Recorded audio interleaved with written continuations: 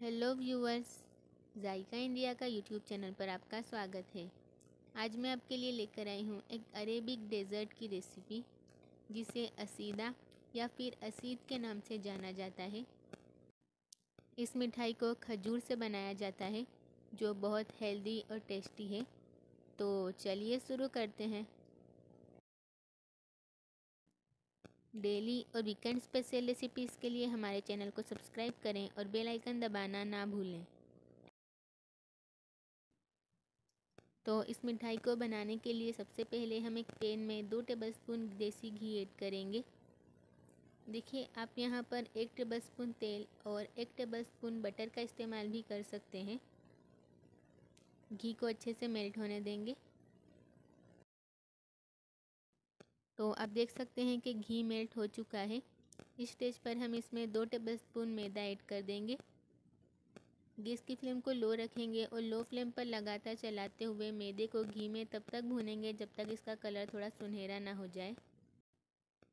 इस रेसिपी की एक ख़ास बात यह है कि ये मीठी ज़रूर है, लेकिन इसमें हमने चीनी का इस्तेमाल बिल्कुल भी नहीं किया, क्योंकि हम इसे खजूर से बना रहे हैं। तो जो लोग डाइट करते हैं, उनके लिए भी ये डिश बहुत ही फ़ायदेमंद है।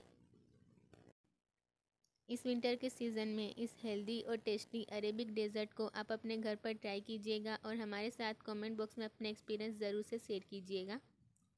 तो आप देख सकते हैं कि हमने मैदे को तब तक भुना है जब तक इसका कलर थोड़ा सुनहरा ना हो जाए। तो तकरीबन दो मिनट तक लो फ्लेम पर मैदे को भूनने के बाद हम इसमें आधा कप मिल्क पाउडर ऐड कर देंगे और इसे अच्छे से मिक्स कर लेंगे। अगर पेन ज़्यादा गर्म है तो आप मिल्क पाउडर ऐड करते वक्त गैस की फ्लेम को ऑफ़ कर दें।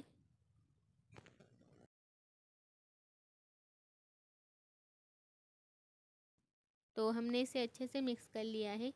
तो आपने देखा कि मिल्क पाउडर ऐड करते के साथ ही इसका कलर चेंज होने लगा है।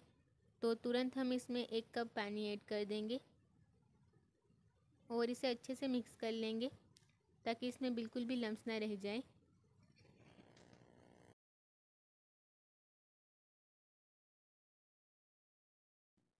अगर आपके पास मिल्क पाउडर अवेलेबल ना हो तो आप घर की मलाई का या फिर फ्रेश क्रीम का इस्तेमाल भी कर सकते हैं।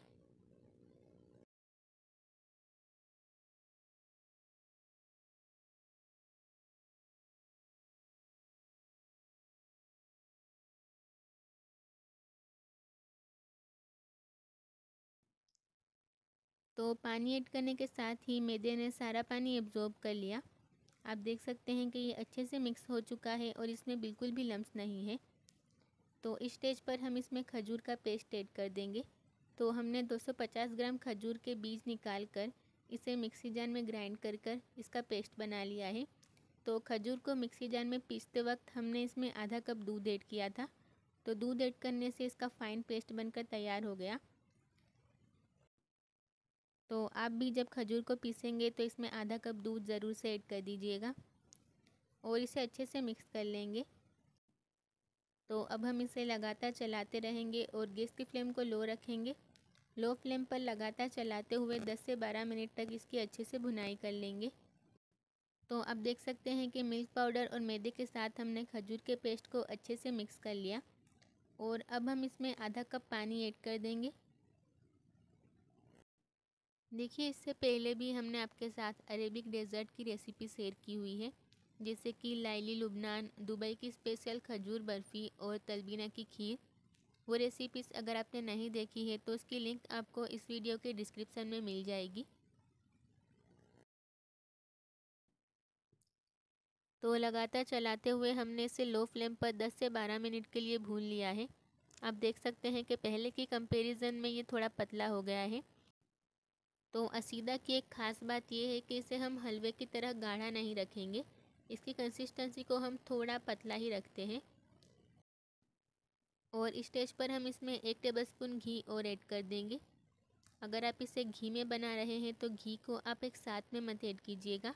इस तरह बेचिस में ऐड कीजिएगा।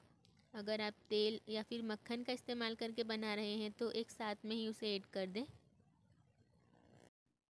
तो आप देख सकते हैं कि घी इसमें अच्छे से मेल्ट हो चुका है। देखिए, इस स्टेज पर आप इसमें थोड़ा सा नारियल का बुरादा भी ऐड कर सकते हैं, या फिर सूखे नारियल को कद्दूकस करके थोड़ा सा ऐड कर दें, लेकिन हमने इसे स्किप किया है। तो साथ ही में हम इसमें फ्लेवर के लिए हाफ़ टी स्पून इलायची पाउडर ऐड कर देंगे। साथ ही में ऐड करेंगे एक टेबल स्पून ड्राई फ्रूट्स। तो ड्राई फ्रूट्स आप अपनी पसंद के हिसाब से कोई से भी ऐड कर सकते हैं। हमने बादाम और पिस्ते लिए हैं। इसे अच्छे से मिक्स कर लेंगे। देखिए, आप इस स्टेज पर इसमें थोड़ा सा केसर भी ऐड कर सकते हैं। अब गैस की फ्लेम को ऑफ़ करके इसे सर्व कर लेंगे। तो आपने यहाँ पर एक बात नोटिस की होगी कि नॉर्मली हम जो हलवा बनाते हैं, उसकी कंपैरिजन में इसकी रेसिपी बहुत ही आसान है। और आसान सी रेसिपी के साथ ये खाने में भी बहुत ही टेस्टी है। तो खाने के लिए तैयार है। अरेबिक डेज़र्ट असीदा, या फिर असीद। वीडियो पसंद आई हो तो लाइक शेयर और कमेंट करें। अगर आप हमारी इस रेसिपी को अपने घर पर ट्राई कर रहे हैं तो हमारे साथ कमेंट बॉक्स में अपने एक्सपीरियंस शेयर करना बिल्कुल भी ना भूलें। तो इसे सर्व करने के बाद हम इसमें गार्निशिंग के लिए थोड़े से ड्राई फ्रूट्स ऐड कर देंगे और थोड़ी सी खजूर ऐड कर देंगे। गार्निशिंग के लिए आप यहाँ पर शहद का इस्तेमाल भी कर सकते हैं। सो फ्रेंड्स अगर आप चैनल पर नए हैं तो चैनल को सब्सक्राइब करके बेल आइकन ज़रूर दबाएँ। फिर मिलेंगे जायका इंडिया का यूट्यूब चैनल पर एक नई रेसिपी के साथ। तब तक के लिए गुड बाय